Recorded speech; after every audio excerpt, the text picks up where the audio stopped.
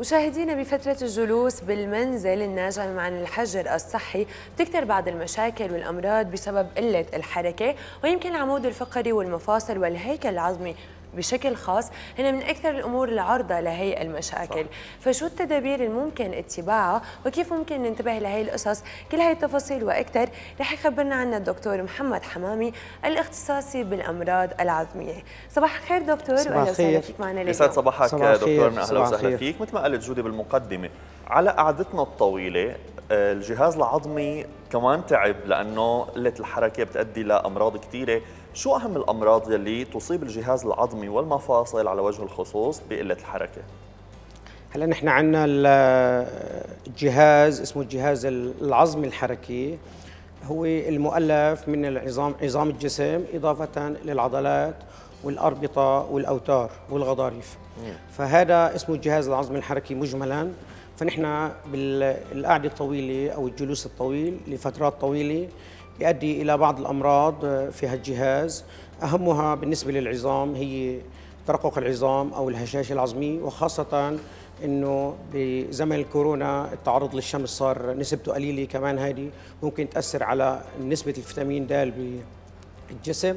فهذا الموضوع بيؤدي إلى الهشاشه وترقق العظام مم. بالنسبة لموضوع العضلات بيؤدي هذا الموضوع إلى تشنجات آه، بالعضلات آه، وخاصة بالعضلات الظهرية عضلات العمود الرقبي آه، فبتلاقي المرضى على طول متشنجين بالنسبة للمفاصل بصير خاصة كبار السن اللي بالأساس ما عندهم حركة كثير فبصير عندهم آه، التهابات أو عندهم بدايات لالتهابات تنكسية بتزداد هالحالات هذه. وبصير عندهم الام بالمفاصل وبصير صعوبة بالحركة بالنسبة لهالمرضى. طب دكتور مثل ما حضرتك كنت عم تحكي إنه في أشخاص أكثر عرضة للإصابة بمشاكل العمود الفقري أو حتى القطني أو حتى الرقبي. آه، ونتيجة القعدة الطويلة يلي نحن عم نقعدها بالبيت ممكن يمكن كثير من العادات السيئة اللي عم نعملها خلال النهار أو حتى العادات الغلط اللي عم نعملها ممكن تزيد الأمر سوء، شو هي أكثر العادات السيئة شيوعا يلي ممكن نعملها أثناء جلوسنا لفترات طويلة؟ والله للأسف أكثر العادات السيئه اللي صارت تجيب ضرر للإنسان هي التكنولوجيا. الكمبيوتر الجلوس أمام الكمبيوتر لفترات طويلة. ونحن هلأ كمان بنرجع نقول في زمان الكورونا والحجر المنزلي. فهذه زادت استعمالات الجوال صار وقتنا كله عليهم. صح. صار وقتنا كله عليهم. يعني ف... نحن اللي ما كان يستخدم موبايل صار يستخدم السوشيال ميديا لحتى يعبي وقته. بالضبط. فهذه كلياتها عم تخلي الإنسان يقعد بوضعية خاصة وضعية انحناء الرأس الشديد. فهذه كلها عم تؤدي إلى آه، هالاصابات التشنجيه بالعمود الرقبي عم تؤدي إلى انقراصات خاصة اللي هو بالأساس عنده مشاكل, مشاكل. بالعمود الرقبي كانقراص أو انزلاق بالغضروف أو أي مشكلة بالعمود الرقبي. فهل كلها بتزيد هالمشكلة؟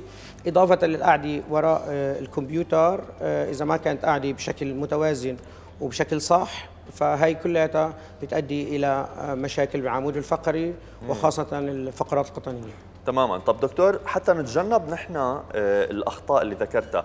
نحن في عندنا مشاكل بالعمود الرقبي وفي ناس من قبل معهم شيء بيسموه يمكن مناقير أو قصص ثانية أو تأكل بين الفقرات. كيف بدنا نحلها؟ نحن بالبيت فينا نعمل تمارين رياضية معينة، فينا نستعين بطوق ولا لأ؟ الطوق فعلا ما بيؤدي لنتيجة إيجابية؟ هلأ نحن الطوق ما بنستعمله للمرضى إلا في حالات خاصة جدا. لأنه التثبيت الطويل بالطوق بيؤدي إلى إضعاف العضلات آه، بالعمود الرقبي. وإضعاف العضلات هذه بتؤدي إلى آه، ضعف وتصلب بحركة الرقبة. فهيدي آه، العلاج لهالموضوع أهم علاج هو هو الرياضة. صح إنه ما في نوادي ما في طلعة ما في امكانه الشخص يروح على نادي أو كذا. بس الرياضة المستمرة المتتابعة بتمارين آه، للعمود الرقبي أو العمود القطني حتى لو ضمن المنزل. طبعا هي كلها بتؤدي إلى الفائدة والشغلة اللي بتفيد الإنسان كمان بهالمجال هذا التعرض للشمس. ضروري ضروري التعرض للشمس بهالفترات هذه لأنه مثل ما قلت لك أغلبنا ما عم طلع على الشمس بهالفترة هذه صح. طب دكتور أكيد حتى دور الغذاء مهم كثير بهذا الموضوع وخاصة الأشخاص اللي عندهم فعلا آلام. شو هي أهم العناصر الغذائية يلي المفروض إنه تكون ضمن نظامنا الغذائي اليومي لحتى نخفف من آلام العمود الفقري أو حتى المشاكل اللي بتكون موجودة بين الرقبة والظهر والعمود الفقري بشكل عام؟ طبعا أهم الأغذية هي المحتوية على مادة الكالسيوم أو المحتوية على الفيتامين د مثل الحليب البيض الموز آه، السمك آه، هي عناصر كثير غذائية جيدة ضمن وتقريبا بمتناول الجميع هي هذه العناصر. فهي بتقوي العمود الفقري وبتخليه بمقاومة أكثر لموضوع هشاشة العظام. تصلب وهشاشة العظام. تمام. طب دكتور خلينا نروح لموضوع كمان يؤرق. الكبار بالسن غير هشاشة العظام ممكن سيدات هن أكثر عرضة له موضوع مفاصل الركبتين. يعني بيقولوا لك غريب أنا ما عم بعمل مجهود عضلي ما عم بعمل مجهود حركي ولكن حاسس إنه الركبتين عم توجعني. شو السبب بيكونوا بالقعدة بالبيت؟ هلأ هذا هون بيكون هي بالأساس هدول المرضى عندهم استعداد بالأساس رح يصير عندهم التهاب تنكسي أو بداية التهاب تنكسي بالمفصلين الركبتين لأنه هن المفصل الركبتين هن آه، مفاصل تحميل الوزن. خاصة النساء لأنه النساء أغلب النساء بيكون عندهم آه، مشاكل آه، بموضوع ترقق العظام لأسباب عديدة منها أسباب غدية منها أسباب هرمونية خاصة كبار السن بسبب انقطاع الدورة الطمسية. كل هالأسباب هذه مجتمعتان بتؤدي إلى هالترقق العظمي أو هالضعف حول المفصل؟ إضافة إلى المتقدمين بالسن بيكون عندهم تصلب بالغضاريف نتيجة التنكس اللي حدث فيه نتيجة التعب السابق اللي كان موجود. فهي كلها نتيجة آه، انعدام الحركة بتزيد.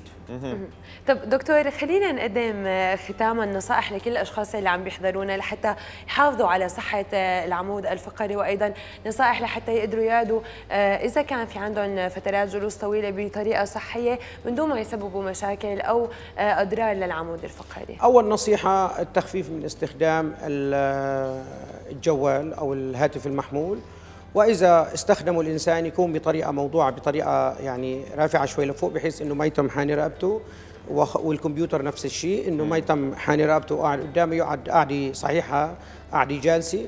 الشغلة الثانية النصيحة الثانية أنا اللي بقدر أقولها هي موضوع الرياضة إنه يتموا يمارسوا رياضه لا يوقفوا رياضه لأنه الرياضة هي آه، بتعطي نشاط للجسم.